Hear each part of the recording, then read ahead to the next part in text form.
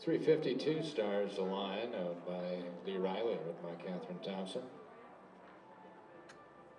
First round score was 87.